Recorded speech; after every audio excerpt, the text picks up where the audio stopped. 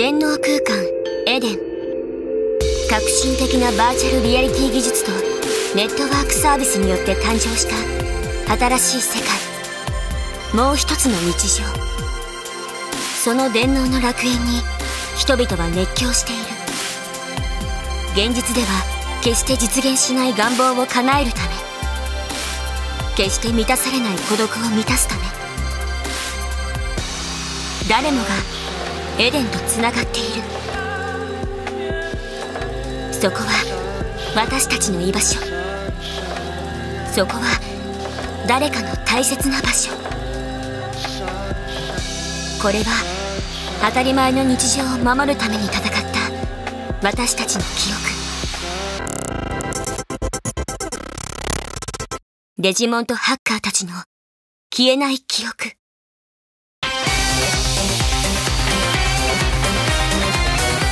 電脳空間で突如発生したコンピューターウイルス。通称デジモンを悪用したハッカーたちによるハッキング行為は大きな社会問題となっていた。電脳空間へのアクセスキーであり自身の身分証明ともなるエデンアカウント。天沢圭介はある日ハッカーにエデンアカウントをハッキングされあらぬ濡れ衣を着せられてしまう。現実での居場所を失った彼は自身の無実を証明するために電脳空間にダイブしそこで運命的な出会いを果たす。ハッカーチームフーディエが力を貸してやる。俺たちはザクソンの下で働く正義の味方ってわけ。デジモンを入手しハッカーとなった少年はハッカーチームフーディエに身を寄せメンバーとして電脳空間のトラブルを解決しながら自身を陥れた。犯人の正体を探っていくこととなる。私たちフーディエの仕事は電脳空間の便利屋。ハッカーとしてデジモンを刺激しチームの運営するネットカフェを根城に。現実世界と電脳空間。2つの世界で起こるトラブルを解決していくの。あちょっと！勝手に入って来ないでよ！エデンで起こるトラブルの依頼はチームの BBS に舞い込んでくるわ。新人は先輩である私の言うことをよく聞いてちゃんと依頼をこなすのよ。って何その子。私はワードママよろしくでし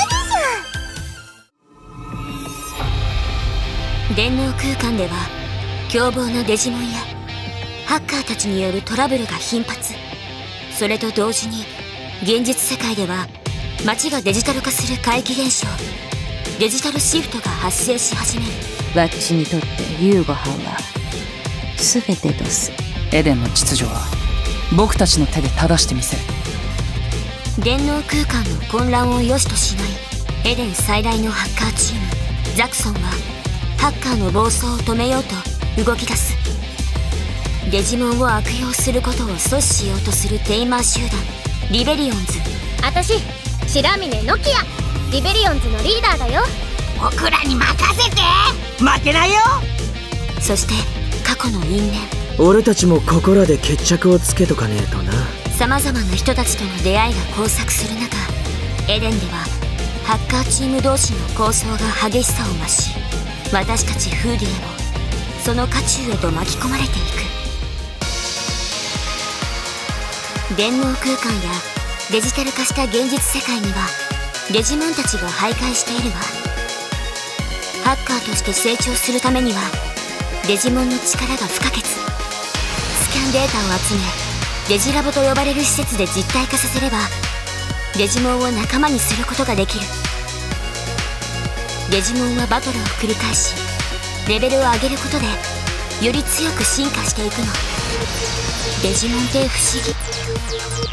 デジファームに預ければ様々な方法で訓練して君好みのデジモンに育成することだってできるわ育成可能デジモンは320体以上。君が望む最高のチームを作り上げていくのよ。アクティブターン制で進行するバトルは戦闘を有利に進めるための戦略が必要よ。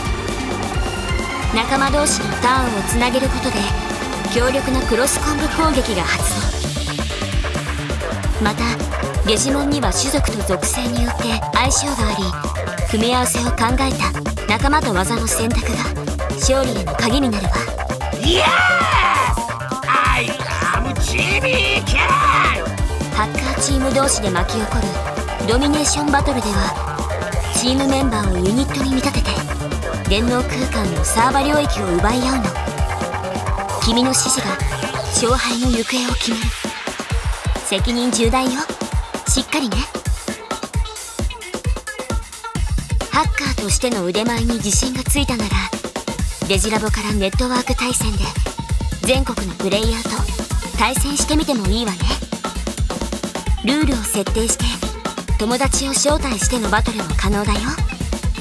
ランキングバトルや定期的に開催されるイベントバトルで稼いだコインを使ってアクセサリーを入手すればデジモンを効かせることができるの。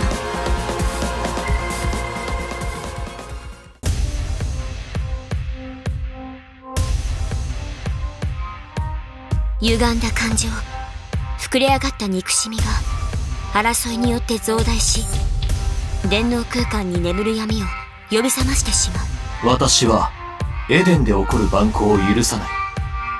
私はエデンの守護者なのだよ。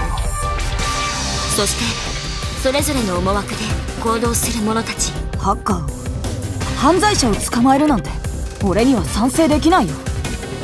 この世界はもうすぐ変わるのです。何もかも。闇は現実世界へと侵食し私たちの大切なものを次々と破壊し始める。世界の危機に直面した時私たちにできることは何なのか。日常を壊され大切なものを奪われた私たちは再び家族や仲間自分の居場所を取り戻すために戦う。